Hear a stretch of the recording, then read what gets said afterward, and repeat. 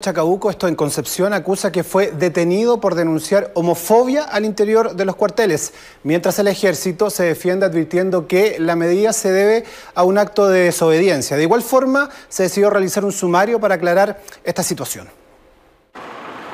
Michael Sepúlveda, de 28 años, lleva 11 de carrera en el ejército, pero ni su larga trayectoria ni su hoja de vida intachable impidieron las burlas que acusa serían por su condición sexual discriminaba a causa de su orientación sexual, cosa que en realidad no influye para nada en su desempeño como militar.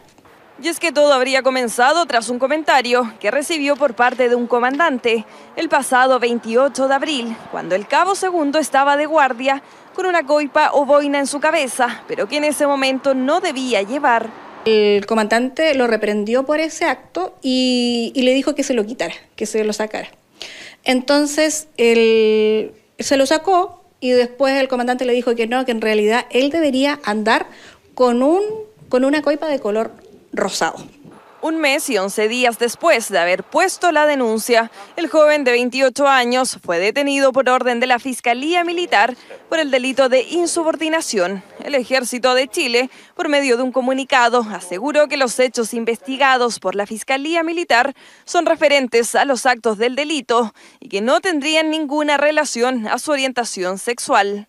La detención del cabo segundo eh, Michael Sepúlveda Coronado obedece a una denuncia que hizo el comandante del regimiento Chacabuco por un delito de insubordinación, que no tiene ninguna relación eh, con el hecho de que han señalado por un, eh, un tema de homofobia. Hechos que la misma familia, por medio de su abogada, desmiente y que aseguran estarían directamente relacionados. Fue a declarar y, y lo dejaron detenido. ¿Por qué? por insubordinación.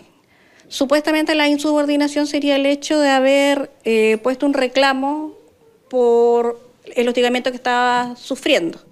Actualmente el cabo segundo lleva tres días privado de libertad a la espera de lo que determine la justicia militar por el delito de insubordinación, que según el ejército no tendría relación alguna con su condición sexual, por su parte, el regimiento Chacabuco ya comenzó a realizar un sumario para determinar si existió un acto homofóbico contra Michael Sepúlveda y tomar medidas contra quienes resulten responsables.